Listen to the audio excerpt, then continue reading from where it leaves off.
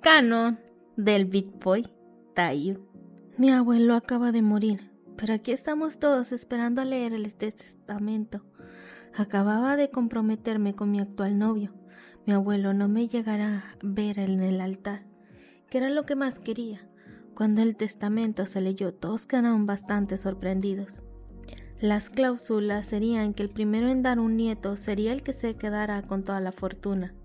Obviamente a nadie le gustó esta cláusula, ya que lo que menos querían las mujeres de la familia era tener hijos. Después de unos días, cuando más o menos se calmaron todos, por mi parte mi novio me obligaba a quedar embarazada, para obviamente obtener la fortuna, pero más que lo hacíamos, no funcionaba.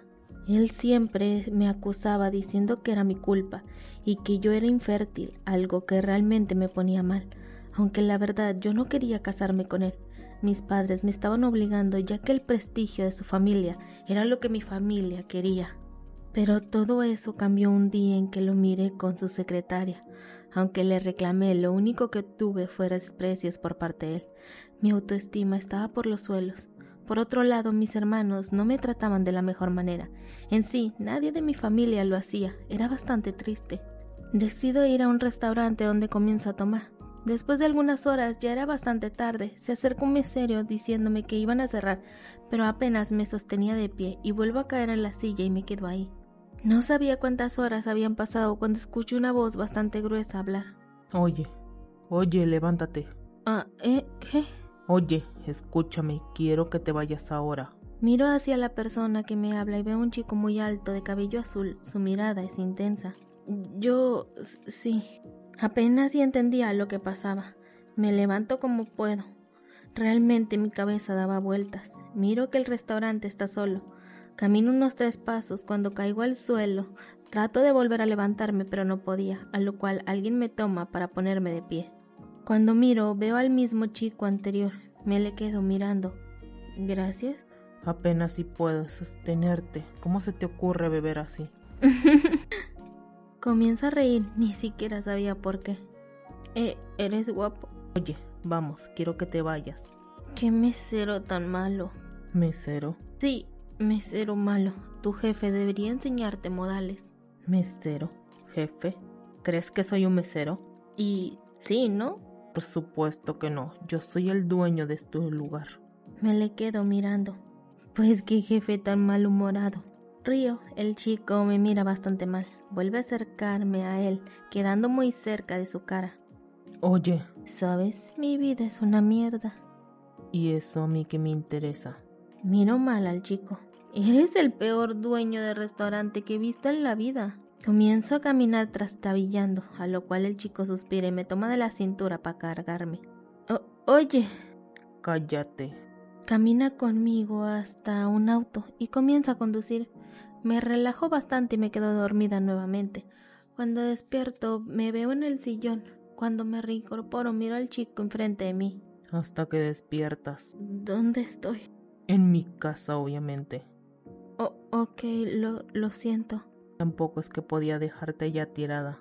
Escucho cómo me reclama. Me da un poco de agua y me quedo mirando hacia todos lados. Realmente es guapo. Miro cómo trae un poco abierta su camisa. ¿Qué tanto miras? Nada. Desvió la mirada tomando agua. ¿Será que estoy loca? Pero se me pasa por la mente tener una aventura con él. Realmente estoy loca. ¿Qué estás pensando? Su voz grave hace que mi cuerpo se estremezca. El chico se sienta a un lado de mí. Comenzamos a platicar ya un poco más tranquilos. Su nombre es Taoyu Shiba y tiene varios restaurantes bastante famosos. Su cuerpo es grande, es bastante alto y se ve que parece que hace ejercicio. Aparte, su cabello es lindo. Decido acercarme a tocarlo. Pero antes de llegar, su mano detiene la mía. ¿Qué haces? Quería tocar tu cabello. ¿Por qué? No sé, ¿me gusta? Se acerca a mí. ¿Y qué más te gusta? Bueno, tu cuerpo. ¿Ah, sí? El chico me toma para subirme encima de él. Pero, ¿qué estaba haciendo, TN? Estabas completamente loca. Acabas de comprometerte, pero cuando el chico se acerca a mí no me resisto y le doy un beso. Poco a poco el beso es más intenso, más fogoso, hasta que terminamos en la cama. Ya ni sabía si era venganza o si era el alcohol, pero de que ya estaba ahí y lo estaba disfrutando. Al día siguiente realmente me daba golpes mentales apenas si sentía las piernas. Al terminar, él me llevó a mi casa. Ni sabía si lo iba a volver a ver. Pasaron las semanas y poco a poco los síntomas aparecieron. Primero náuseas, vómitos, mareos. No podía creerlo. Realmente estaba embarazada. Decido ir a hacer mi análisis y sí, efectivamente estaba embarazada. Entonces, eso quiere decir que mi prometido es el que estaba mal. Pero decido pensar qué hacer con este hijo. Es detalle de aquel encuentro. Ya jamás lo volviste, ¿saben? Es más, ni siquiera fuiste ya más a su restaurante. Y ahora ibas a tener un bebé. Ya no querías más, ya no querías seguir con el compromiso, así que decides cancelar e, e irte de tu casa. Querías estar lo más lejos posible. Las semanas pasaron mientras estabas en el centro comercial comprando cositas para el bebé. Una voz detrás de ti resuena. Nos volvemos a ver. Miro hacia atrás y veo a Taiyo. E, este sí. Rara forma de encontrarnos. Sí, ¿verdad? Me pongo bastante nerviosa. Me pregunto, ¿qué haces aquí? Ah, yo, este, nada estaba viendo. ¿Viendo? Sí, me voy, se hace tarde. Cuando camino, él me toma de la muñeca. ¿Cuándo me ibas a decir que estás esperando un hijo mío? ¿Qué? ¿Qué, dices? ¿Estás loco? No lo estoy. Sé que estás embarazada. Te he investigado. ¿E ¿Eres un acosador o qué? Tú y yo hablaremos. Ven. Me lleva hasta una cafetería. Porque ya no me volviste a hablar. Bueno, es que ¿qué quieres que dijera? Hola, mira, estoy embarazada. Ni sabías quién era. Y dime, ¿estabas comprometida? Sí. ¿Y qué pasó? Bueno, me alejé de él y de mi familia. Terminé el compromiso, mis padres me habían obligado a estar con él.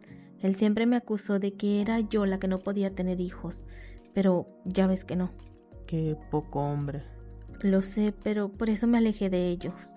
Entonces, volvemos a nuestro pequeño asunto. Mira, no tienes por qué hacerte responsable, sé que... ¿Quién te dijo que no quiero hacerme responsable? ¿Quién te dio el derecho a decidir por mí? Bueno, es que... Mira, quiero saber más de ti, quiero conocerte y estar cerca de mi hijo. No, no me lo esperaba, pero ¿por qué haces esto, Tayo? Porque me gustas. Gustarte apenas me conoces. ¿Y eso qué importa? Me gustas y serás mía. Me pongo bastante roja. Nunca pensé que un hombre yo le podía gustar. Está bien, Tayo. Lo haremos bien. Tampoco es que quiero que mi hijo no tenga padre. Decidí darle una oportunidad a Tayo.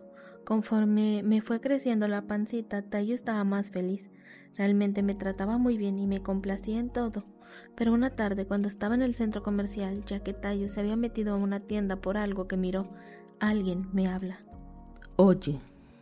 Cuando doy la vuelta, miro a mi ex prometido. Tena.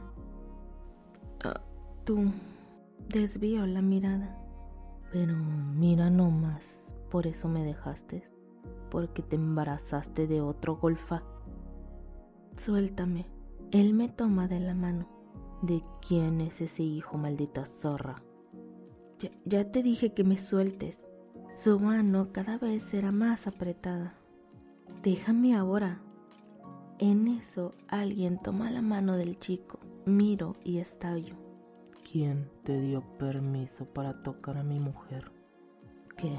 ¿Mujer? El chico me suelta y me escondo detrás de Tayo. Tayo está bastante enojado. Toma por la camisa al chico.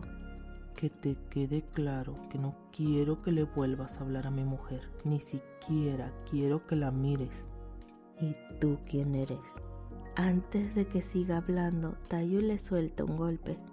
Tayo, no, lo tomo para alejarlo. ¿Estás bien? Sí, estoy bien, pero no debes hacer eso. Ese maldito te estaba molestando. Sí, pero... Debí haberle dado más fuerte. Tayo, por favor, calma. Lo tomo para calmarlo. Tiempo después terminé teniendo a mi bebé. Era una niña y literalmente Tayo estaba perdido con ella. Era completamente una persona diferente cuando estaba con la bebé. Sus hermanos se salvaban ellos también estaban bastante emocionados. La verdad es que siento que me saqué la lotería con este hombre. Es detallista, bastante amable, aunque sí tiene su carácter. La verdad es bastante lindo y muy buen padre. Por eso es que lo amo. Comenzamos con los saludos. Les recuerdo que si ustedes quieren un saludo, solamente déjenme un comentario en este video. Saludos para Ran Yon U5V. Qué hermosas cosas compraste en Temu Hanabi. Saludos para Andrea Ruiz 9156. Increíble. Saludos para José Rubén Sana Sanasi 8882. Qué bonitas cosas. Saludos para Ana Paula Camacho 8026. Hermoso video y yo voy a la secundaria dentro de muy poco. Muy bien. Me parece muy bien. Ustedes van a la secundaria, prepa, universidad, ya no están estudiando, cuéntenme. Y quiero agradecer a los miembros del canal. Muchísimas gracias chicos por comprar la membresía. Si tú quieres también ser eh, de estos miembros del canal, ahí está el botoncito que dice unirte, checas las ventajas y si pueden y quieren se unen. Aquí te dejo otro video que tal vez te pueda gustar. No te olvides de seguirme en todas mis redes sociales para mucho más contenido. Bye.